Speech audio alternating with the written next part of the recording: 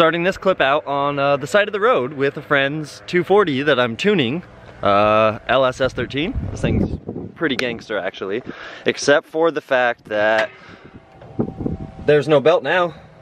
So he's up walking looking for the belt and I'm sitting here starting this clip off. Um, yeah, so trying to focus on the channel a little bit more and realizing that uh, need more content, need more consistent content. The Corvette was something I really liked. Um, I really, really like the Corvette. And you know what? I'm gonna be sitting here for a minute, so might as well get comfy, but uh, I really like the Corvette. It was something that I always wanted. But you know what? Content, keeping myself occupied and keeping you guys occupied is more of the goal. So with that, uh, as usual, it's me. I get bored and I flip cars. This year I'm going on, I think 40 or 50 cars. It's, yeah, it's getting kind of out of hand actually, but um, here I am tuning HP tuners and my friend's car. Just hanging out, waiting for him to get back with the belt, hopefully that he finds. Um, Oh, we're not gonna have a way to get it on because we don't have tools. I didn't even think about that. Son of a bitch. But uh, yeah, so we're gonna have to figure something out here and I'll get you guys back to the new car that we picked up for the channel to keep us occupied with winter and rainy content and footage and stuff like that. Uh, we got some footage with it already yesterday when I hung out with my little brother. And yeah, we'll go ahead and toss that all in now. And hopefully Jake gets back soon with the belt and we can get out of here, get this fixed, and then get some more stuff going for you guys. So we'll catch you guys in a minute.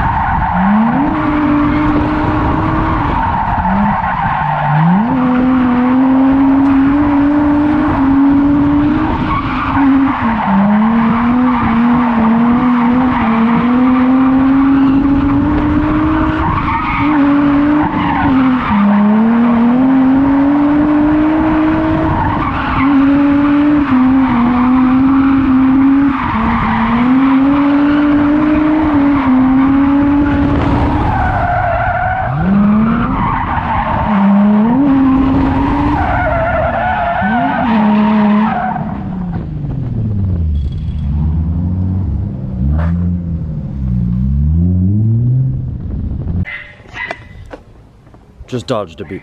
So I'm guessing an explanation of what I like to affectionately refer to now as the G-Banger.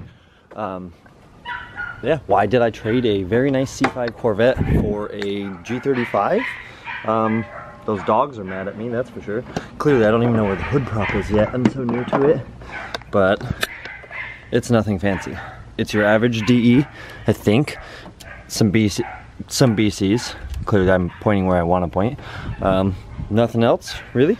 No leaks. All the gaskets are OEM replacements. It does have one of those fancy coil boys. Down here we do see a Grassroots Motorsports oil cooler and power steering cooler. It did come with, obviously, the new Motegis, front and rear. It came with some spares, actually, too, with some Valino Greevas on them. Um, I don't know crap about Greevas, except from what I've learned from Samit and watching Samit's videos. So I'm gonna probably use them as steer tires. I have some that are kind of burned up that we'll use as spares too, but we'll figure all that out, obviously. Sitting in the car, they're just some nice stock 350Z seats. The interior is flawless, with a baby seat, of course. You know, gotta rep all the good stuff. Love Samit, love his channel, love the air fresheners, and I have a supply of them down there now too. Um, obviously, a little bit of a hydro. It's in line, it's not the best thing in the world, but it works um, short shifter, a Delrin shift knob, a nice wheel. The 350 seats sit nice, but I'm probably gonna get a bucket. And that's about it. I mean, what else do you say about a stock G35? It sounds good-ish for a VQ. I honestly hope it chucks a rod out the side of the block so I have an excuse to go LS. That would be the best thing. And the main reason I came out here is I needed to put the GoPro battery in the charger. But get back in the house now, finish out this video, and get the ender going. Now that would be how we test a car. A little more my style, day one of ownership, right? Um, took it out, put it through its paces, had some fun, drove, saw my brother, had some more fun, drove back home, had some more fun. Um, helped out a buddy with his 240, which was fantastic. And when we end the video out here, we're gonna end it out with, yay! We have all of the parts to go ahead and start final assembly of the Envoy.